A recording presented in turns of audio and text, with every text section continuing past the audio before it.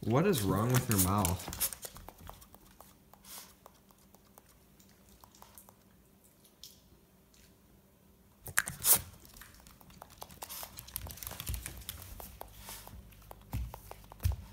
That noise is coming from her mouth.